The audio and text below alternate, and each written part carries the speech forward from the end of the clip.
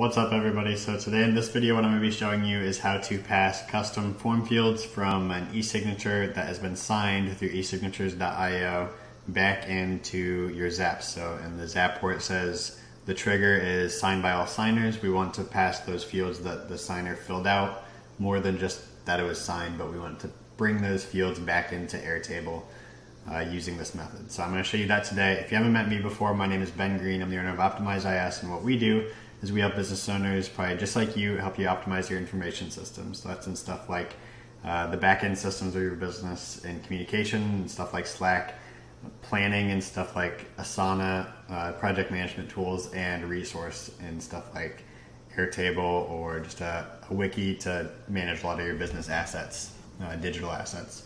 So if you're interested in any services, you can check out the link down in the description. Without further ado, we'll get right into the video now.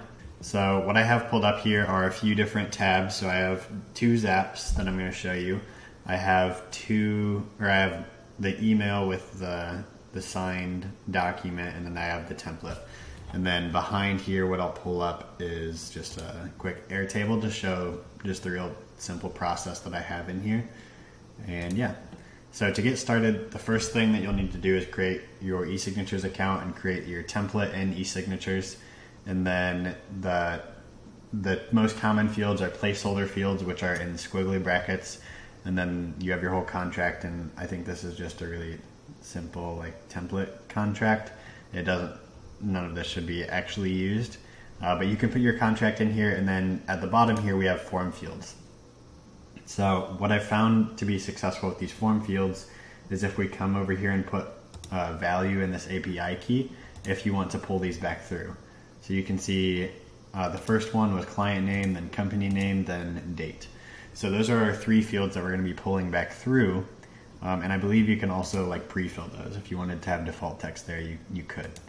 But for our example, we're not going to have any default text there. We just want to pull back in for you. I guess for you, it might be like the, the address, uh, maybe like secure information, like from a, like for accounting or anything like that. You can pull that in, ask those questions, and I'll show you how to get that information back into a tool like Airtable.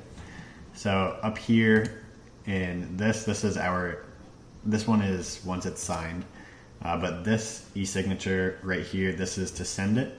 So just to really quickly show you how that's set up, basically there's this automation view over here which is filtered to be this status right here and once it's that status right there, then it will trigger the automation.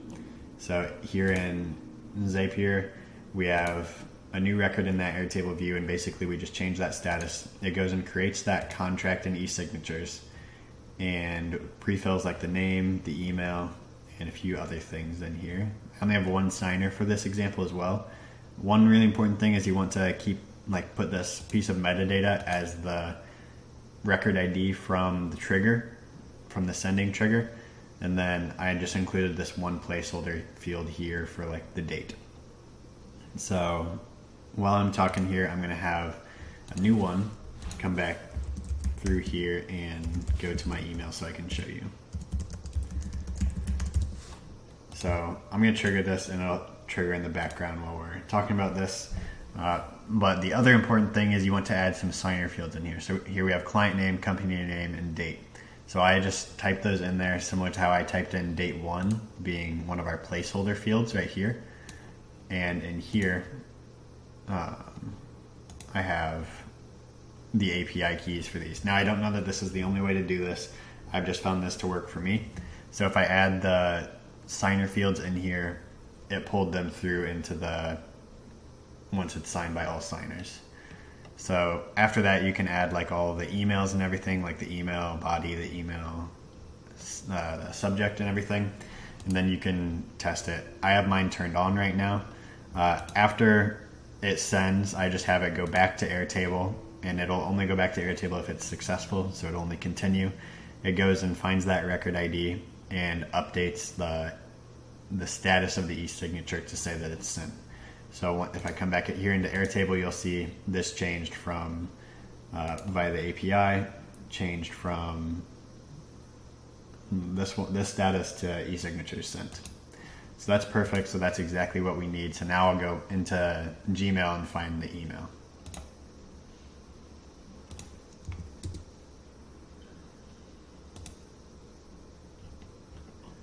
So here we have another one, uh, one minute or zero minutes ago. Uh, this is just a really, really bare bones test here. So if we now review this and sign, it'll ask us for a few things. So if we scroll down here and keep scrolling, what it's gonna do, and actually you can see it pulled in that date field, so the placeholder field worked. And then here for name, we'll say Andy Clone, and the company is Clone Enterprises. And the year is 2001, September 2nd. And then sign it as Andy. And of course, this isn't a real signature or anything, but if we came back in here to uh, Airtable, the second step is not turned on yet. So now I'm going to show you how to do that. And this is probably the, the biggest area where people need help. So once it's signed, we test that. So we're gonna come back in here and test it for a new contract. I pulled this one in 12 minutes ago, but if I load more here, this one will come in here. So it should be for Andy. Yep, you can see it's for Andy. And we can see that these signer fields came in.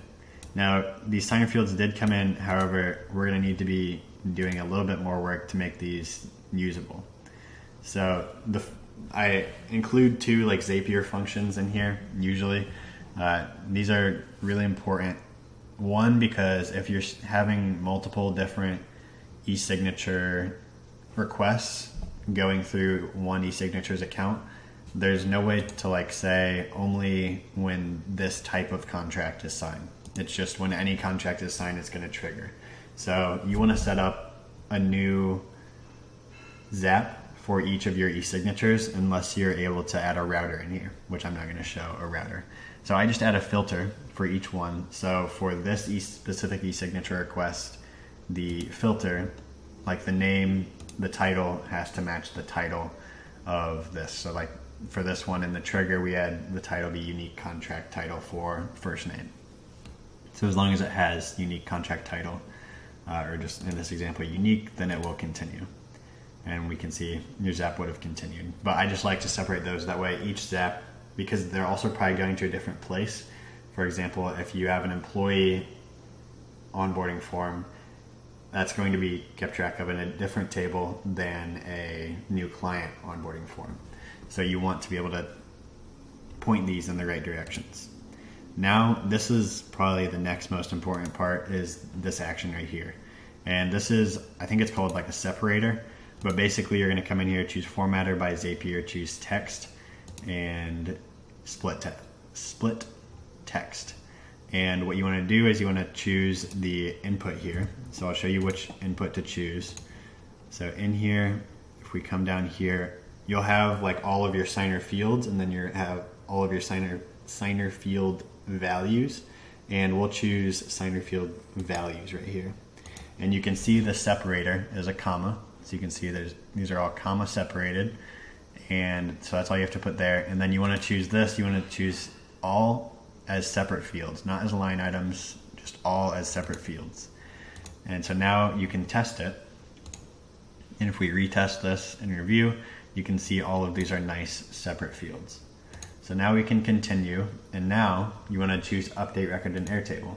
And this is really the big benefit here of knowing when something's signed because this is a completely different Zap. So we don't specifically have that record ID from the first one, but because we passed it through as metadata, you can pick that record ID from the contract that was signed and you can update that specific record. Now obviously it should be in the ba same base in the same table, but knowing which record ID is highly important here. Now what you can do is you probably have multiple fields in your Airtable base uh, that will show like whatever your custom fields are. So if you came in here and added a field for like the maybe the address, you could do that. You could add lots of different fields in here for whatever you want to be collecting in that in your e-signature. And then if you come in here and refresh, that field will pop up right here. So now what you want to do is you can just come in here and put in all these signer fields. So you can say, I want Andy and the date. And so you can pull in this dy dynamic, which changes for every single automation, and this static right here, which is the space, comma, space. And you can pull that stuff back through. So now if you just press continue there, you can skip that test and then you can turn it on and it'll work.